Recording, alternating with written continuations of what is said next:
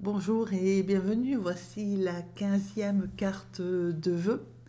Donc c'est un paysage qui est peint avec trois couleurs, un rose, un jaune et euh, un gris. J'ai ajouté du doré pour que ça fasse un peu plus festif, mais vous pouvez très bien euh, l'alléger, entre guillemets, c'est surtout au niveau des arbres. Euh, et donc ne pas mettre de doré. Voilà, moi j'ai mis du doré parce que la personne à qui c'était destiné aime beaucoup le doré. Donc voilà, c'est pour ça que j'ai mis du doré. Je remercie toutes celles et ceux d'entre vous qui likez, partagez et commentez. Je vous souhaite de vous régaler à peindre cette jolie carte qui peut faire aussi euh, un paysage, euh, si on n'y veut pas de doré, c'est un paysage euh, d'hiver. Je vous souhaite une excellente journée et à très bientôt.